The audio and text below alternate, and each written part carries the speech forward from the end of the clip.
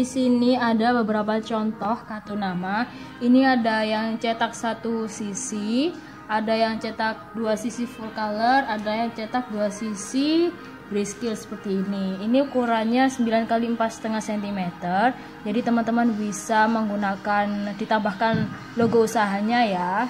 Kalau mas kalau belum punya ya bisa. Terus jangan lupa ditambahkan data sosmednya seperti website, WA, Instagram dan lain-lainnya. Untuk yang model model grayscale seperti ini, jadi sisi depannya itu full color dan sisi belakangnya itu grayscale. Jadi warnanya itu agak ke abu-abuan gitu ya, ke hitam abu-abuan.